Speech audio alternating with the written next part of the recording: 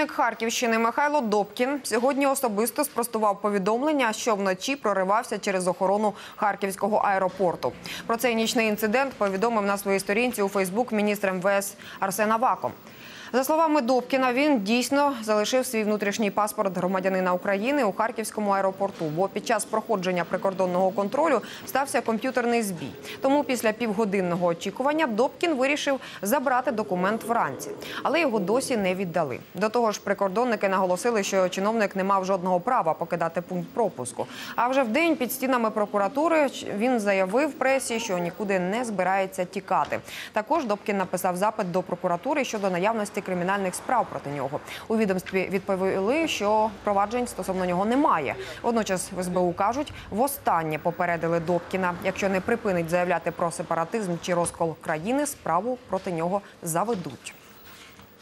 У них был сбой, мы прождали порядка 30, может быть, даже 40 минут в машине под э, зданием аэропорта.